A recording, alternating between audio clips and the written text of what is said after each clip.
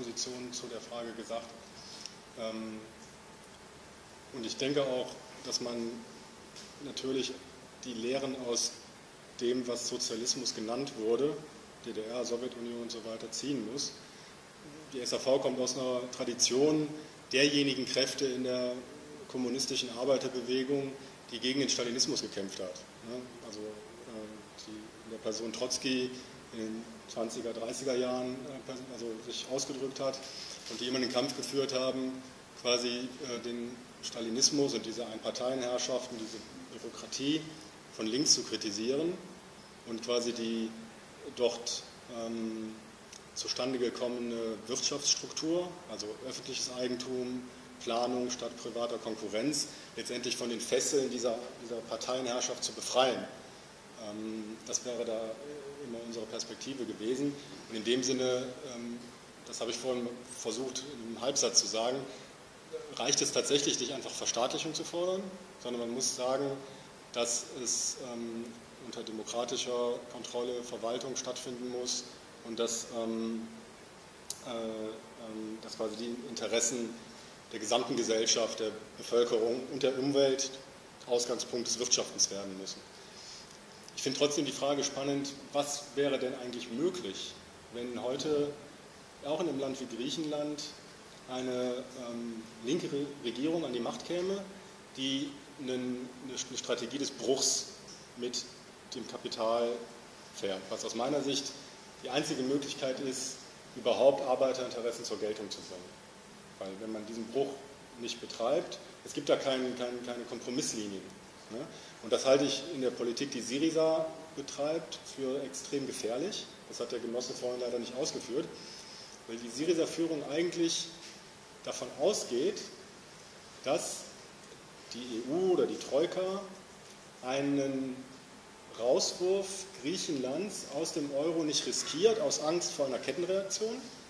Und deshalb denkt die Syriza-Führung tatsächlich, wenn sie die Regierung haben, wären sie in einer starken Verhandlungsposition, um mit äh, Merkel, wie sie auch alle heißen da, De Rumpoy oder so, ich kenne die Namen gar nicht alle, quasi auszuhandeln, dass es einen ordentlichen Schuldenschnitt gibt, dass äh, die ganzen Bedingungen für Sozialabbau, Privatisierung und so weiter zurückgenommen werden. Also dass Griechenland genug Geld gibt, um quasi eine soziale Entwicklung einzuleiten. Das halte ich für eine völlige Illusion.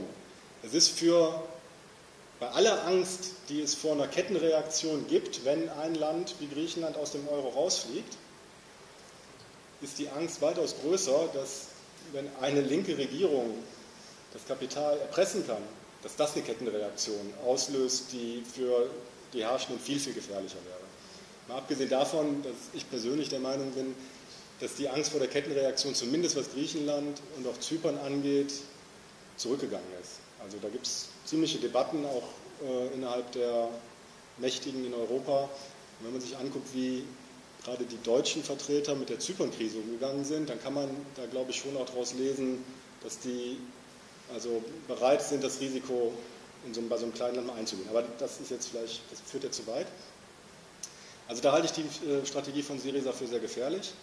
Wenn sie den Bruch eingehen würden, ich glaube schon, dass ähm, eine solche Linksregierung, Arbeiterregierung mit einem Programm von Verstaatlichungen, von, äh, was dann auch den Aufbau von Industrie wieder nötig machen würde, dass so ein Programm ähm, die Lebenssituation von Menschen in Griechenland in bestimmten Grenzen verbessern kann. Ähm, also dass bestimmte Dinge, die da gerade die unmittelbarsten Probleme sind, medizinische Versorgung, also medizinische Grundversorgung, sage ich mal, äh, Wohnungsnot, also da kann man durch die Konfiskation alleine des Kirchenvermögens der orthodoxen Kirche ähm, also durch äh, Enteignungen, durch äh, also das quasi die Übernahme der immer noch auch in Griechenland vorhandenen privaten Reichtümer, könnte man einiges machen. Das löst natürlich nicht die strukturellen Probleme. Ähm, und dann gibt es ganz viele Fragen, die sich dann stellen würden, ne? die aber im Kampf gelöst werden. Und da spielt die internationale Arbeiterbewegung eine ganz wesentliche Rolle. Es macht, würde einen riesigen Unterschied machen, wenn also in Griechenland ein, eine solche revolutionäre Regierung an die Macht kommt, solche Maßnahmen ergreift und äh, sie würden mit einer kompletten Wirtschaftsblockade äh, konfrontiert sein, wie das Kuba war. Das macht einen riesen Unterschied. Ich glaube aber, dass man da gar keine Alternative hat, als auf eine internationale Solidaritätskampagne, Ausdehnung von Kämpfen zu setzen.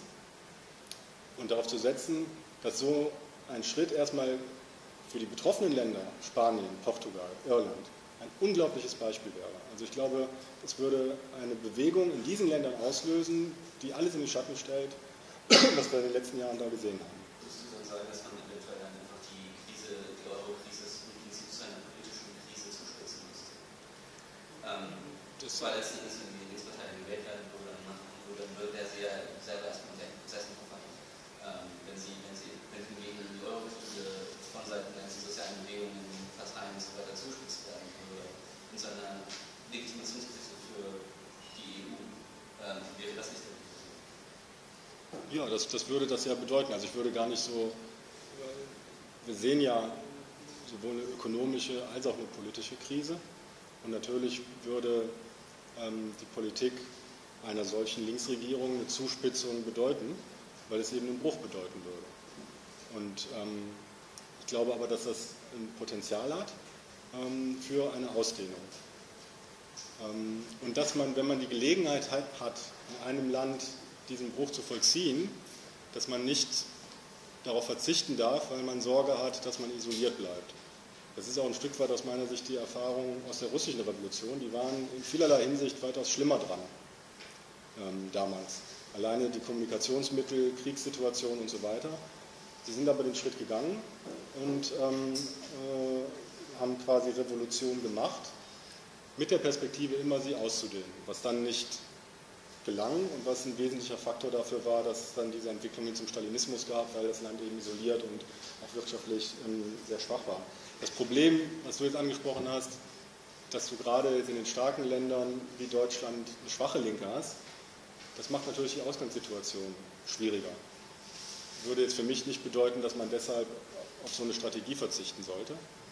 Ich glaube aber auch, dass das hier ziemliche Auswirkungen hätte. Also ich glaube, dass man, ähm, also mal ganz praktisch gesagt, wenn es so eine Regierung in Griechenland gäbe, dann könnten wir äh, eine massive Kampagne betreiben für medizinische Versorgung für die griechischen Krankenhäuser. Sammeln, Gelder sammeln, in den Gewerkschaften, in den Krankenhäusern ähm, Sammlungen durchführen. Ich hatte mal ein Gespräch mit einem Genossen aus Griechenland, der hat gesagt, dann müssten wir eine rote Tourismuskampagne machen. Also dass dass, ähm, dass quasi Menschen äh, dadurch quasi dann auch ähm, Devisen nach, nach, Griechenland tragen würden, mit denen dann ein linkes oder ein sozialistisches oder ein Arbeiter-Griechenland äh, in den Außenhandel treten könnte. All solche Sachen werden sich dann stellen. Ich persönlich glaube, dass es ähm, dass viele Probleme von so einer Regierung auch, auch, isoliert angegangen werden könnten, aber dass, es, also dass der Druck, auch wenn sie isoliert blieben, der Druck auf Dauer so groß würde, wie er auch im Endeffekt der Druck dann auf ähm, äh, ähm, die stalinistischen Staaten ähm, ähm, auch so groß wurde. Ähm, zu der Sache mit dem Ökosozialismus. Also ich finde, Sozialismus ist sowieso ökologisch. Darum also habe ich mir diese Begrifflichkeit nie so zu eigen gemacht, weil ich finde, das ist ein weißer Schimmel. Also Sozialismus bedeutet, Produktion nach den Bedürfnissen der Menschen. Der Mensch ist Teil der Natur und wenn man die natürlichen Lebensgrundlagen zerstört, gibt es keine, kein Wirtschaften nach den Bedürfnissen des Menschen. Ähm, diese, diese ökosozialistische Debatte, die beinhaltet ja etwas, was du auch geäußert hast, nämlich dieses Opferbringen. Und äh, erstmal würden ganz viele Arbeitsplätze verloren gehen. Da würde ich verwarnen, weil man, wenn man, also einmal kann man mit dem Programm keine Mehrheitsunterstützung für den Bruch mit dem Kapitalismus herbeiführen.